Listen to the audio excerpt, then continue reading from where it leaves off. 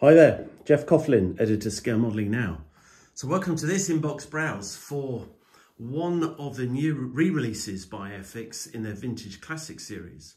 Uh, this time of the 24th scale, Messerschmitt BF109E. Now, if you are of a certain age, you will remember this the first time round like I do when it was released. And it was the dream. It was always the dream to be able to afford to buy one um, or be given one for a present uh, when we were younger. And you'll know that they had all sorts of, uh, I think Spitfire came first and then you had um, others like the Hawker Hurricane. And now I've already done a really in-depth build of the Hawker Hurricane. Uh, just uh, revisiting it really, I suppose. I never built it when I was a, youngster and it was just fabulous to have a chance to have a crack at one of these big super kits. Um, now much uh, further down the line with uh, the current skills that, the, that, that we, have got. And I think for me, that's just um, one of the uh, the great things about this kit. Uh, that there are many many modelers out there who would love to have had a crack at it. Um, it can be a bit daunting when you look at it, um, but actually it isn't, not really. Um, so let's have a look at what, what we get in the box, shall we? Let's just pop this one off to the side. Um, now, of course, um, I haven't looked up when this was released, but as you can imagine, 60s, 70s, something like that. Um, so inevitably the molds are very old and as a consequence um, you're going to get a number of different um, I suppose uh, outcomes from that. One is that there is a lot of flash and you can probably see some of that around uh, some of the parts. Um, not, not insurmountable, it's easily trimmed off so I, I never get too excited about things like um, uh, flash to be honest. Um, having said that, if you just come over to the wings, there are uh, one or two defects in these. There's some uh, nasty little sinkholes there, which you can see, sink marks, I should say, sinkholes. They're quite different. I think we all fall in, you fall into those and they open up in the middle of high streets and stuff. But no, uh, sink marks over there. Uh, but nonetheless, um, that aside, um, you get some fairly reasonable detail. You get quite nice surface detail. You get uh, some raised rivets um, and recessed uh, rivets, but it, mo mostly mostly raised and, uh, and, and a mixture of, as I say, of, of raised and recessed. You've got some fabric effect on, the wings here. Um, just coming uh, inside, you've got uh, a rudder that you can offset, which is quite useful to say the least. You do get um, you do get an engine, um, which is, is useful. We'll get to that in a moment, but you can see here we've got some of the engine bearers um, and we've got details for the guns, the MGs, magazines, um, spinner, of course. Um, you do get a pilot if you want to add the pilot. Doesn't actually look too bad. and he stood up quite well the, to the test of time, but that's up to you whether you want to add him or not.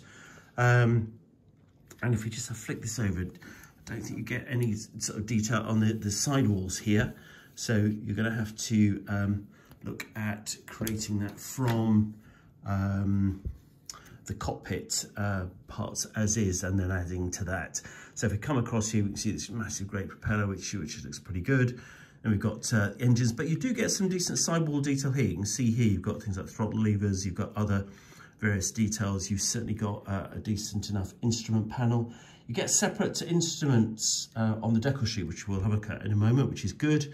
Um, yeah, so actually it's it's really not not too bad.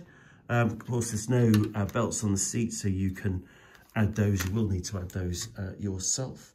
Fact, you don't get any um, decals for those, so that's fine. You know, perfectly possible to buy the aftermarket or uh, make your own. You've got um, got the MGs here. I mean, again, you might want to replace those, um, but you know, with some careful cleaning up, you know, you could probably make those much more presentable than they they look. Of course, you've got the big uh, Daimler-Benz engine here. Um, and so on. So actually, if I pull out, that's not, the parts count is really not that great. So it's, other than the fact that you've got some big parts to, to play with, given the scale, it really isn't um, uh, too bad from that point of view at all. So it's not a complicated kit, it's a question of how far you need to correct or you want to add detail really, which is the issue. Uh, it's good that um, in the uh, the kit as well, you do get, um, I haven't actually taken them out yet, but basically you get um, the square or the rounded uh, canopy for probably an E3 or E4 actually. Um, so I haven't looked or reminded myself of the differences between a, uh, a BF109 E3 and 4, but one of the most notable differences is that um, rounded canopy for the E3 as opposed to the square centre section here, which you, you get on the or most E4s. But again, as with most, most things Luftwaffe, nothing is ever uh, quite straightforward. Um, what else do we get? We get uh, rubber vinyl tyres. Um, so love them or hate them. In fact, there's plenty of help in the techniques bank on how you make these look really realistic. And I would check, ask you to check out the um, um, the build in SMN for the Hawk Hurricane that I did because I've shown uh, some videos on how you can make those look really realistic, which is good. Uh, decal sheet is excellent. Um, the current uh, Airfix decal sheets are stunning. They are absolutely top of the range. I, I think they might even be produced by Cartograf, but they're not marked, I don't think, as Cartograf, but who cares? I, the fact is I've used them multiple times now and they really, really uh, go down well. Uh, and of course, you've got the uh, the classic sort of schemes. You've got, because you've got yellow 10 on the box art. If we just come back to that, you can see that cracker, isn't it? It's a classic sort of Battle of Britain type uh, scheme. Um, so this is uh, one of those uh, two options that you can see on um, the sheet. Um, let's have a look at this one. This is actually um, Scheme B, which is um, Helmut uh, Wick's, um, JG2, Richthofen, uh, France, Belgium, October 1940, around the Battle of Britain time. Uh, that's a really interesting scheme, that one, because you've got all this sort of stippling which you can create on the side, which is uh, uh, an interesting challenge, which is good.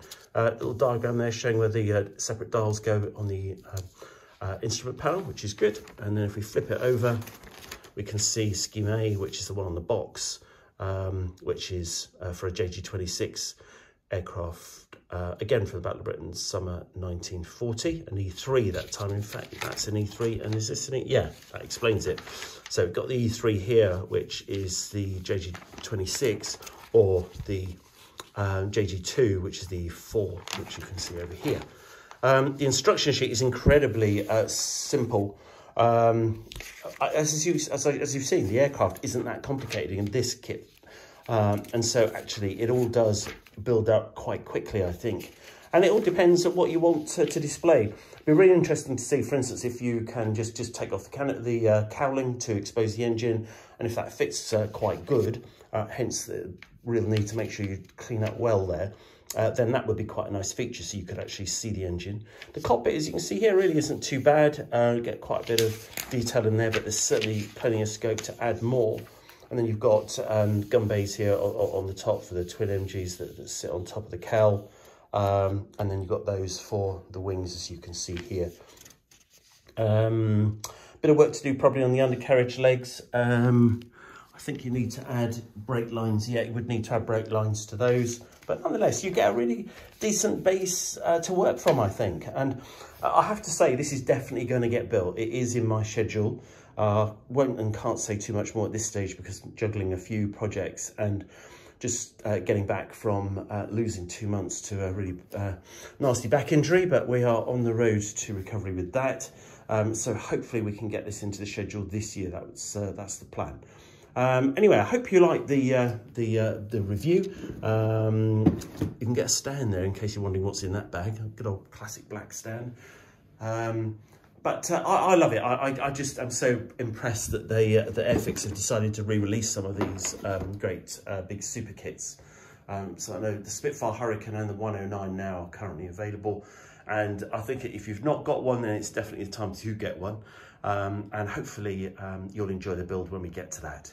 So that's Airfix Vintage Classics, Messerschmitt Bf 109E. That's an E3 or 4 that you can do from the kit in 24 scale.